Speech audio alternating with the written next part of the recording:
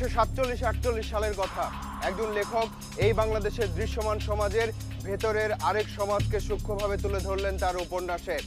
এক প্রত্যন্ত গ্রামের পটভূমিতে গড়ে উঠেছিল সেই উপন্যাসের গল্প। নাম লাল সালু লেখক সৈয়দ ওয়ালিউল্লাহ।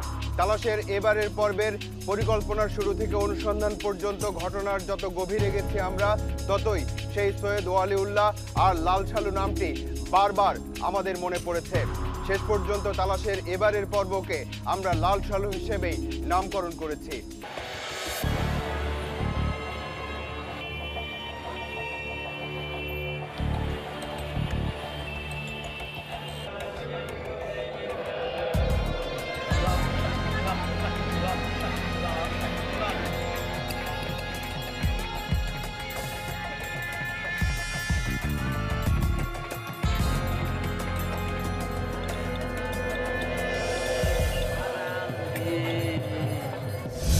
এদেশে যেসব ধর্মীয় বুজুর্গ ব্যক্তিদের শেষ ঠিকানা হয়েছে, তাদের অনেকেরই নামের শেষে শাহ শব্দটি আছে। কারণ তারা এসেছিলেন মধ্যপ্রাচ্যের দেশগুলো থেকে, যেসব দেশে শাহ একটি সম্মানজনক উপাধি।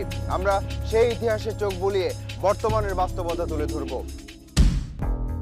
প্রায় হাজার বছর আগের কথা। ইসলাম প্রচারের উদ্দেশ্যে আরব, ইয়েমেন, ইরাক, ইরান সহ মধ্যপ্রাচ্যের দেশগুলো থেকে বিভিন্ন সময় ভারত উপমহাদেশে আসেন তিনশো ষাট জন আউলিয়া। হজরত শাহজালাল রহমতুল্লাহ আলাহ ছিলেন তাদের মধ্যে নেতৃস্থানীয়। এসব গাউস কুতুব ও সুফি সাধকদের অনেকেই এদেশের মাটিতে সমাহিত।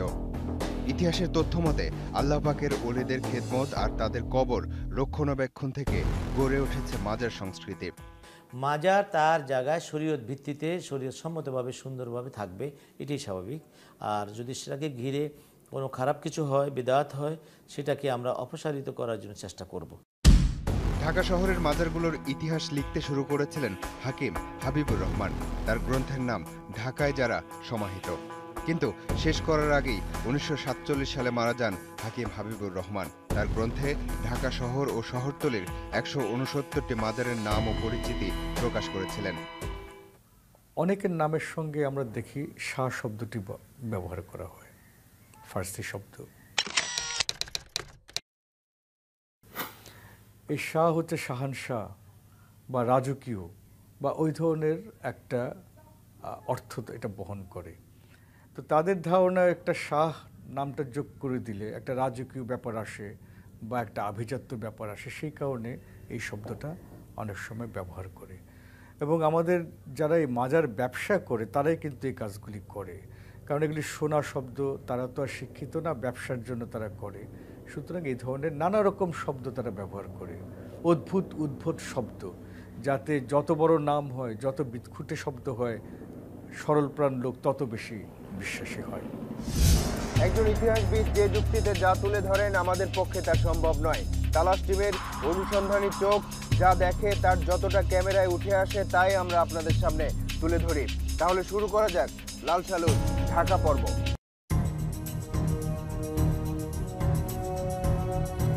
বর্তমানে ঢাকায় মাজারের সংখ্যা কত তার সঠিক পরিসংখ্যান কোথাও নেই। তবে এই রাজধানীতে যেসব মাজারে মানুষ বেশি ভিড় করে, তেমন কিছু মাজারের সাথে এবার আমরা পরিচিত হব। হজরত শাহ আলী বাগদাদি রহমতুল্লাহ আলাহের মাজার মিরপুর এক নম্বরে। তিনি চোদ্দশো সালে বাগদাদ থেকে দিল্লি হয়ে বাংলাদেশে এসেছিলেন, তবে তার মৃত্যু সাল নিয়ে মতভেদ আছে। রাজধানীর গুলিস্তানে অবস্থিত গোলাপ শাহ মাজার আগে নিমতলা মাজার নামে পরিচিত ছিল। তবে এটা কার কবর, কোথা থেকে এসেছিলেন, কবে মৃত্যুবরণ করেছেন তার কোনো তথ্য নেই। রাজধানীর মতিঝিল এলাকার এই মাজারটি পীর জঙ্গি মাজার নামেই বেশি পরিচিত। তবে গোলাপ শাহ মাজারের মতোই এটা কার কবর, কোথা থেকে এসেছিলেন, কবে মৃত্যুবরণ করেছেন তার কোনো তথ্য নেই। জানা যায়, জনৈক কাশেম আলী আর তার ছেলের কবর এটি। জঙ্গলি নামের একজন পীর মাঝে মাঝে এখানে এসে বিশ্রাম নিতেন, কিন্তু তার কবর এখানে নেই। ঢাকার অনেক মাজারই কিন্তু মাজার নয়, কিন্তু এগুলি আমাদের কথা নয়।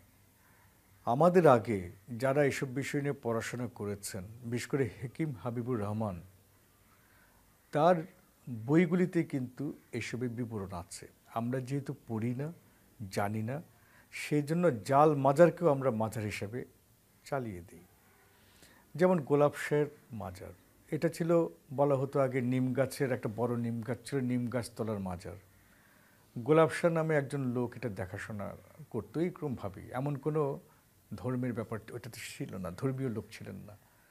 গোলাপ শাহ মারা গেলে তিনি ওই কবরটাকে দেখিয়ে পয়সা করে নিতেন। তো আহ, গোলাপ শাহ মারা যাওয়ার পর আশেপাশে তাকে কবর দেওয়া হয় এটা হয়ে গেল গোলাপ শাহর মাজার। বিনা কারণে। এর কোনো এর মধ্যে কোনো আধ্যাত্মিক ব্যাপার জড়িত নাই। সৈয়দ ওয়ালিউল্লাহর লাল সালু উপন্যাসটি আপনারা কতজন পড়েছেন বা পড়লেও কতটুকু মনে আছে তা জানি না। তবে সে উপন্যাসে নোয়াখালীর একটি গ্রামকে বেছে নেওয়া হয়েছিল গল্পকে এগিয়ে নিয়ে যেতে। আর আমাদের এই অনুষ্ঠানের শুরুতেই আমরা রাজধানীর একটি প্রসিদ্ধ মাজারের ইতিহাসের সাথে পরিচিত হব। মিরপুর এক নম্বর, শাহ আলী মাজার।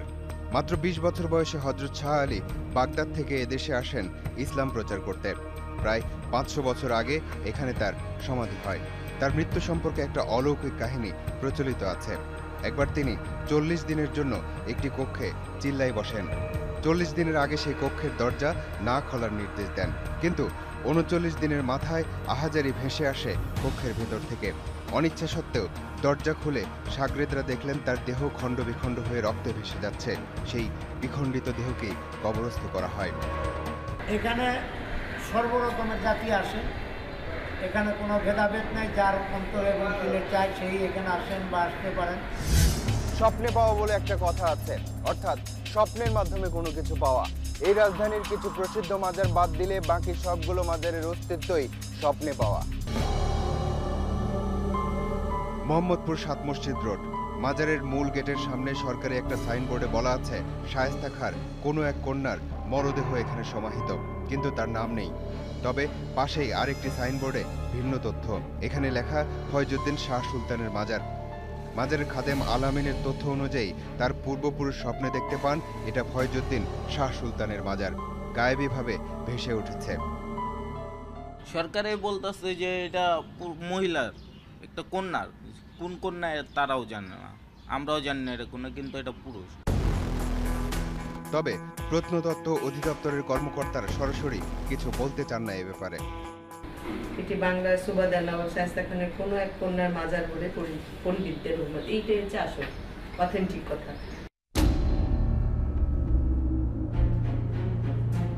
Tongi rail junction. রেল লাইনের মাঝখানে গড়ে উঠেছে বেল সার মাজার। তবে বেল কারও নাম নয় কবরের মাঝখানে একটা বেল গাছ আছে তাই এর নাম বেল শাহ মাজার। এই মাজারের গাছের বয়স মাত্র বিশ বছর। হরিজন গোত্রের অমিত্র স্বপ্নে দেখেন এখানে মাজার করতে হবে। এর আমরা বেল বাবা করে ডাকি কেন বেল বাবা ডাকেন? ওই গাছের নামে ডাকি। এমনি তার নাম নাই? আছে আমি এটা বলব না। জানেন আপনার নামটা? এটা আমার জানা থাকলেও আমি জানি না।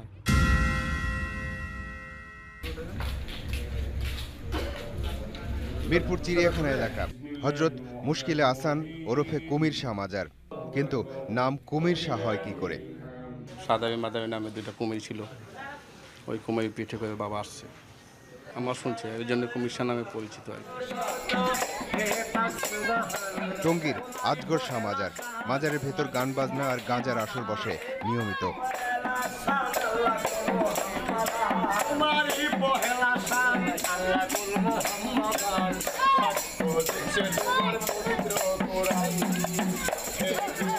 নাম আজগর শাহ মাজার হলেও এলাকাবাসী এটাকে মুরগি চোরের মাজার বলে।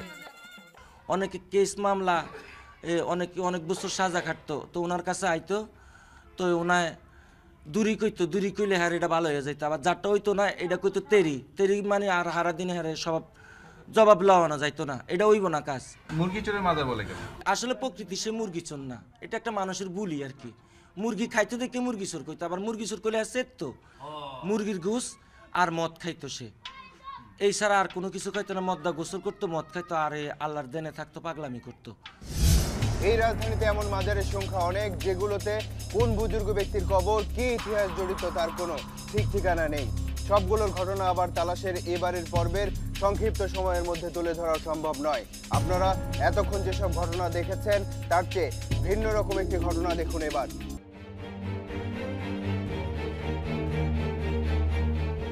পুরান ঢাকার লালবাগ এলাকা স্যার সলিমুল্লাহ ইতিমখানা এখানে চারটা কবর দেখা গেল। এর একটা গড়ে শহীদের মাজার নামে পরিচিত স্বপ্নে পাওয়া। সলিমুল্লাহ সাহেব যখন ঘোরাজা যেতেছিলেন আসন মসজিদ যাওয়ার পথে উনি স্বপ্নে দেখছেন, এখানে একজন পীর বলছে, তুমি এখানে একটা তিমখানা করো। এইখানে আর এই মসজিদটা, মসজিদ চারশো বছর বয়স একটা বয়স। তো উনি আইসা ঠিকই দেখছেন, এই মসজিদ পাইলেন, তারপরে এখানে মাজারটা পাইলো, পাওয়ার পরে উনি তখন এখানে এতিমখানা সৃষ্টি করলেন আর কি। লালবাগ এতিমখানার মোড়। আরও একটা মাজারের দেখা মিলল। কি আশ্চর্য, এটাও নাকি গোরে শহীদের মাজার। যে আমাদের পূর্বপুরুষের থেকে আমরা এটা দেখে আসছি যে এটা একটা মানে মাজার। তাই এলাকা আমরা জানি সবাই ঘোড়া শহীদ মাজার। একটু এগিয়ে গেলে আরও একটি মাজার, সাইনবোর্ড সর্বস্ব। কিন্তু এটাও গোরে শহীদেরই মাজার।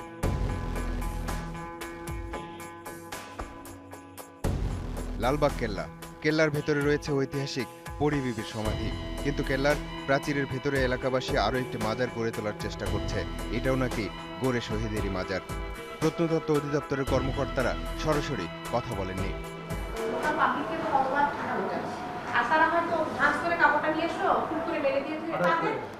বিশ্বাস। স্পিরিচুয়াল যে ইয়েটা। কিন্তু দখলে নিতে পারে না তো ব্যাপারটা হয়তো শুধুই বাহ্যিকভাবে দেখার বা যা দেখা যায় তাই বিশ্বাস করার।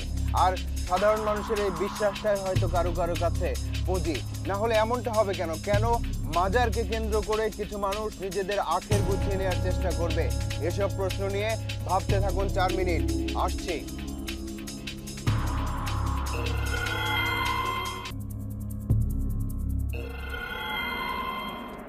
মাজারের বিভিন্ন বিষয় নিয়ে অনুসন্ধানে নামার পর একটা বিষয় চোখে পড়ে তালাশ টিমের। আর তা হলো, এই রাজধানীর বেশিরভাগ মাজারই গড়ে উঠেছে রাস্তার মোড়ে মোড়ে। এর কি কারণ হতে পারে তা নিয়ে আপনারা ভাবতে পারেন, কিন্তু আমরা শুনেছি যে রাস্তার মোড়ের উপরে অবস্থিত মাজারগুলোই নাকি বেশি জমজমাট। পাঁচ নভেম্বর দুই হাজার বারো, বিকেল চারটা গোলাপশা মাজার গুলিস্তান মোড়ের এই মাজারে ভক্তরা ভক্তিও প্রদর্শন করেন, আবার টাকাও দেন। একসময় টাকার স্তূপ হয়ে যায়। মাসে প্রায় বারো লাখ টাকা জমা হয়। মাসে একবার এই মাজারের মূল ফটক খুলে টাকা গোনা হয়। ঢাকা সিটি কর্পোরেশনের অধীনে থাকায় এই টাকা চলে যায় সরকারি কোষাগারে। কিন্তু শুধু সরকারি কোষাগারেই নয়, ঢাকা সিটি কর্পোরেশনের সংশ্লিষ্ট কিছু কর্মকর্তার পকেটে যাওয়ার ঘটনাও ঘটেছে এখান থেকে টাকাগুলো। আমি স্পেসিফিক বলি যে বাইশ বস্তরের মাজারটা আছে। চিরঙে আপনি উপরে উঠে গিয়ে যখন টাকা দিতে যাবেন, ওই মোতলে যে আছে দেখবেন হাত ধরে ফেলে। বলে আমি দিচ্ছি। দিচ্ছি। কিছু অবস্থাপনা আছে, সব জায়গায় তো আমাদের এইগুলো। সিটি কর্পোরেশন গোলাপ সমাজের তিনজন নিরাপত্তা কর্মী নিয়োগ করেছেন। তাদের একজন সেলিম। বেশ কয়েকদিন ধরে তালাশ টিমের একজন সদস্য গোলাপ মাজারে ভক্ত সেজেছিলেন। তিনি যতবারই মাজারে টাকা দিতে চাইলেন, ততবারই টাকা নিয়ে নিলেন সেখানকার হাজি সাইফুল্লাহ নামের এই ব্যক্তি। এই সাইফুল্লাহ কিন্তু মাজারের খাদেম নন। মাজারের নিরাপত্তা কর্মী সেলিমের নিয়োগ দেয়া একজন কর্মী। সেলিমের কর্মী বাহিনীতে আছে দশ থেকে পনেরো জন। এবার দেখুন এই কর্মী বাহিনীর কর্মকাণ্ড। এবার দেখুন মানুষ কোথায় টাকা দিচ্ছে আর যাচ্ছে কোথায়।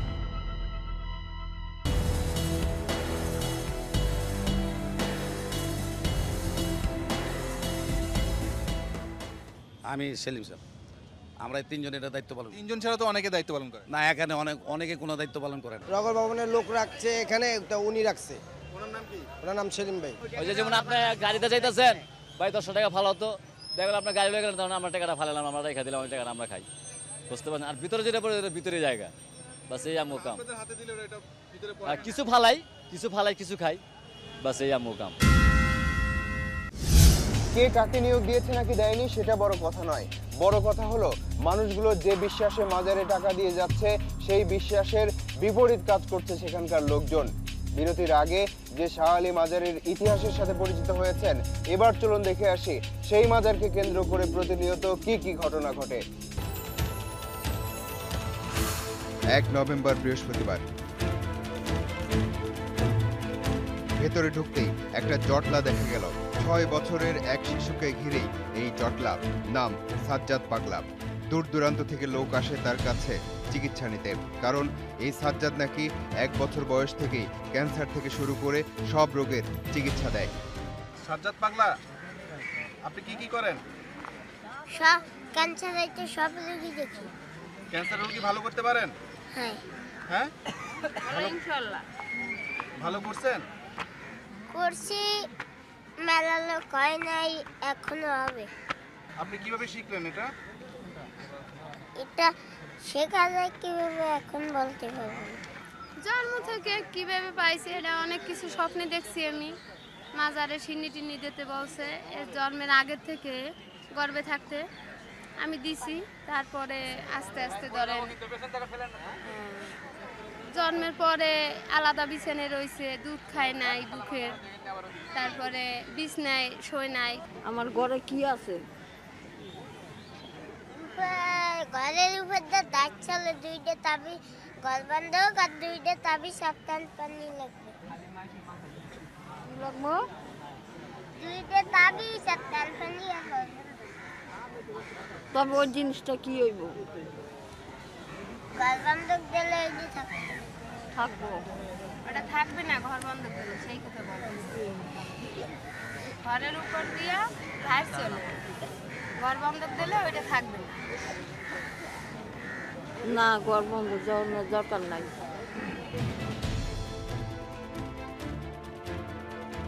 মাজার প্রাঙ্গণে আশেকানরা নিজ হাতে মোমবাতি জ্বালিয়ে দেন। এগুলো পুরোপুরি জ্বলতে দেয় না এখানকার লোকেরা। কিন্তু কেন? দেখা যাক কি হয়।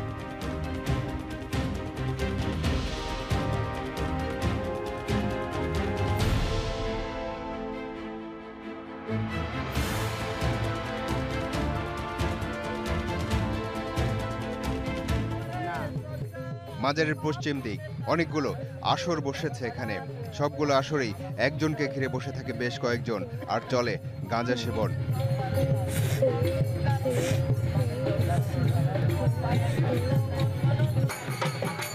এখানে প্রতি সপ্তাহে যা হয়, তার ছবি দেখলে আর কিছু বলার দরকার পড়ে না।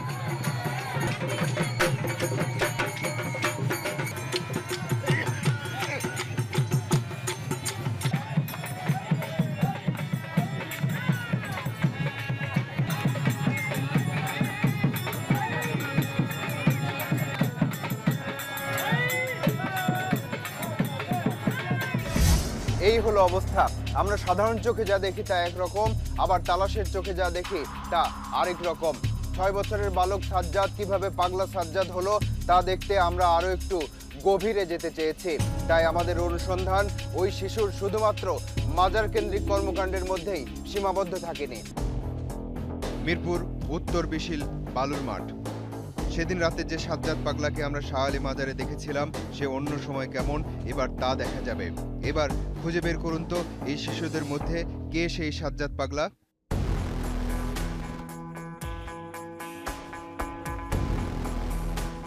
শুধু কথার কথা নয়, রীতিমতো সার্টিফিকেট আছে, এই সাজ্জাদ পাগলার অলৌকিক কেরামতির।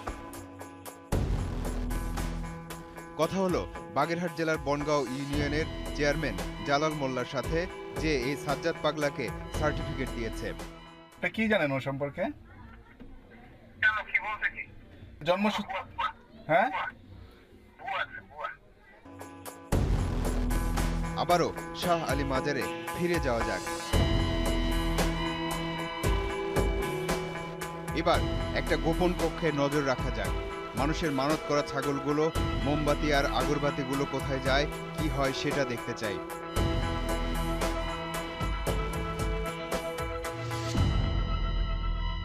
না না থেকে পনেরোশো বারোশো এক হাজার ঠিক নেই। যেতে যেতে। এখান থেকে কিনে দেয়? হ্যাঁ। এখান থেকে কিনে কোথায় দেয়? মাজারে দেয়। মাথা থেকে আর কোথায় আসে? ঘরে আছে কেউ ধরা দেয় কেউ খাদিম সাহেবের কাছে দিলে ওই বাত্তিগুলি আবার এদিকে পড়ে। আর এগুলো আবার কোথায় যায়? এগুলি আবার দোকানে যায়। আবার দোকান থেকে কোথায় আসে? আবার মাজার আসে। আবার মাজার থেকে? আবার মাজার থেকে এখান থেকে এখান থেকে আবার দোকান। চিরন্তন সত্য এক ব্যাপার আর মানুষের বিশ্বাস আরেক ব্যাপার। ব্যক্তি হিসেবে একজন মানুষ যা বিশ্বাস করে, তার প্রতি আমাদের শ্রদ্ধা সব সময়ের। আর লাল সালুর এই গল্প কিন্তু এখানেই শেষ নয়। আবারও কোনো এক সময় ঢাকার বাইরের এমন কোনো ঘটনা নিয়ে আপনাদের সামনে আমরা হাজির হব। এবার যেতে হবে। আজ চলে যাচ্ছি কিন্তু যাচ্ছি না। পরবর্তী অনুসন্ধান শেষে তালাশ টিম আবারও এসে দাঁড়াবে আপনাদের সামনে। দর্শক, আপনাদেরকে নিয়ে আপনাদের জন্য এই অনুষ্ঠান। লিখুন এই ঠিকানায়। প্রযোজক তালাশ ইন্ডিপেন্ডেন্ট টেলিভিশন, একশো উনপঞ্চাশ, একশো পঞ্চাশ, তেজগাঁও শিল্প এলাকা, ঢাকা, এক দুই শূন্য আট। ইমেইল করতে পারেন Talash at independent twenty four dot TV এই ঠিকানায়। আপনার অনুসন্ধানী মনের দরজা জানালা খোলা রাখুন, কিছু বেরিয়ে এলে আমাদেরকে জানান। তালাশ টিম থাকবে আপনার সাথে।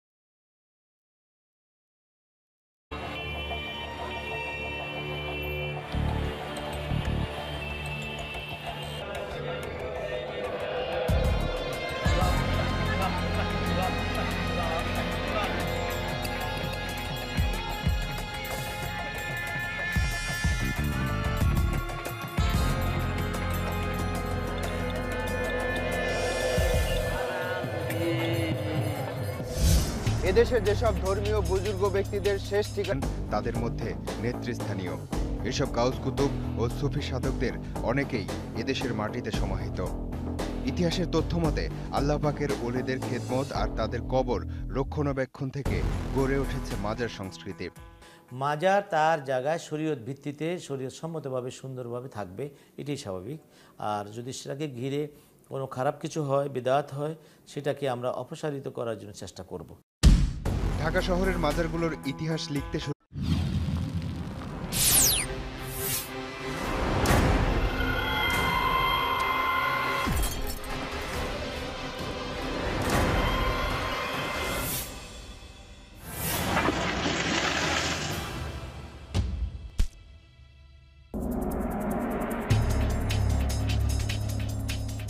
উনিশশো সাতচল্লিশ, আটচল্লিশ সালের কথা। একজন লেখক এই বাংলাদেশের দৃশ্যমান সমাজের ভেতরের আরেক সমাজকে সূক্ষ্মভাবে টানা হয়েছে, তাদের অনেকেরই নামের শেষে শাহ শব্দটি আছে। কারণ তারা এসেছিলেন মধ্যপ্রাচ্যের দেশগুলো থেকে, যেসব দেশে শাহ একটি সম্মানজনক উপাধি। আমরা সেই ইতিহাসে চোখ বুলিয়ে বর্তমানের বাস্তবতা তুলে ধরবো। প্রায় হাজার বছর আগের কথা। ইসলাম প্রচারের উদ্দেশ্যে আরব, ইয়েমেন, ইরাক, ইরান সহ মধ্যপ্রাচ্যের দেশগুলো থেকে বিভিন্ন সময় ভারত উপমহাদেশে আসেন তিনশো ষাট জন আউলিয়া।